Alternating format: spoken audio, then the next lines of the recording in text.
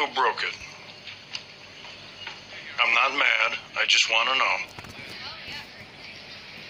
I did. I broke it. No, it. no, you didn't. Tom? Don't look at me. Look at Ben. What? I didn't break it. Huh, that's weird. How'd you even know it was broken? Because it's sitting right in front of us and it's broken.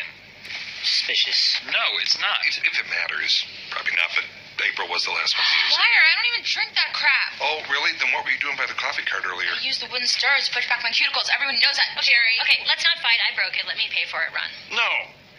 Who broke it? Ron, Don has been awfully quiet. Really? Yeah, really. I broke it. It burned my hand, so I punched it. I predict 10 minutes from now, they'll be at each other's throats with war paint on their faces and a pig head on a stick. Good. It was getting a little chummy around here.